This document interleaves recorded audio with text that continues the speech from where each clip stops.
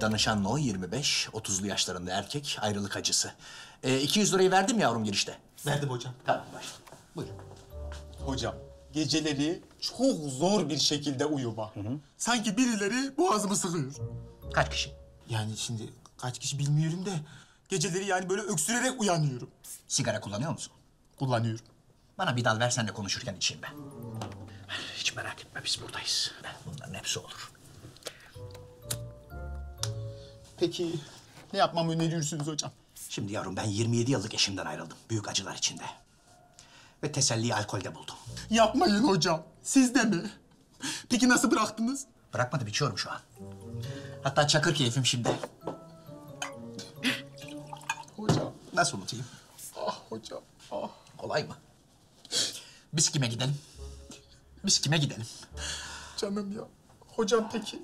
Zaman her şeyin ilacı diyorlar ama. Bak. Dan Johnson'ın bir lafı var. İngilizce ama. Hayat boş, pompala coş. İngilizce.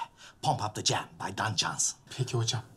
Bana koyduğunuz bir teşhis. Var elbette. Elbette. Tıbbi bir jargonla söylersem, bilmem anlayabilir misin? Sana büyü yapmışlar. Yapmayın. Yaparlar. Başka türlü nasıl olacak lan? Aslan gibi delikanlısın. Sen terk edilecek adam mısın? Büyü.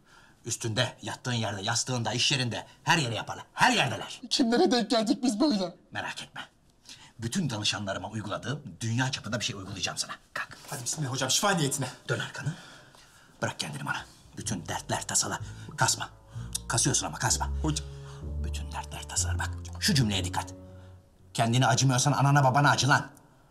Benim anam babam yok ki hocam. Tedaviye cevap vermiyor. Vermiyorsun. Hocam siz kimle konuşuyorsunuz ya? Alt benliğimle. Ben gidiyorum. Tamam hocam. Sprey. Sprey.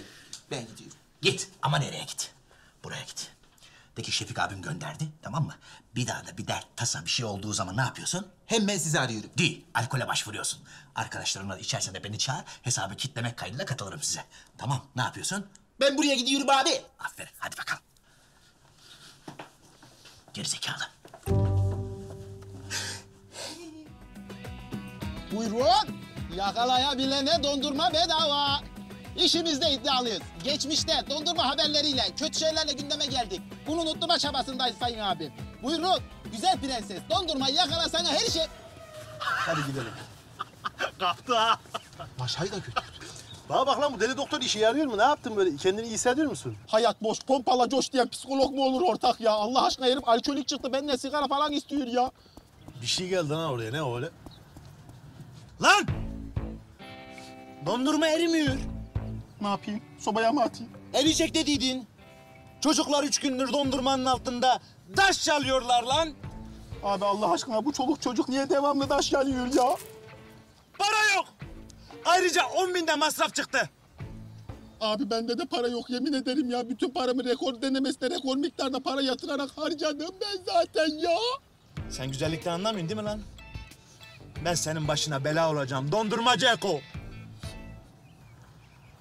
Bu güzellikle söylemiş haliniz mi? Ya Eko, bu nedir? Bu senin çevrendeki arkadaşların falan hiç tasvip etmiyorum bunlar. Kalitesiz, kalitesiz, kalitesizlik yani. Bu nedir ya? Nedir bu doktor sonuç olarak ya? Bu Deli doktor onu anlat. Ne bileyim ya. Mutlaka buraya gidecekmişim. Ne o ya? Kaplıca mı oğlum bu? Ne burası? Pavyonmuş lan ortak. Hangi Allah'ın manyağı psikolog tedavi amaçlı pavyon önerir ya? Ee, bura işte. Hadi. Bu nasıl tip lan? Adam görünümlü dinozor yapmışlar. Hayırlı işler abi. Nasıl yardımcı olabiliriz ağalar? Şefik Bey gönderdi. Ya kardeş biz şimdi Bağkurluyuz da devlet kaçta kaçını karşılıyor bundan. Yoksa biz bir anlaşmalı pavyona gidek şey. Gitme Eko. Ne yapıyor yüklüyor mu şu an? Buffering mi? Bafirik bafirik. Kardeş, burada ödemelerde hiçbir zaman problem yaşanmamıştır. Alternatif tıp diyorsunuz sayın abim. Alternatiflerimiz mevcut. Oldu. Sağ ol. Kolay gelsin.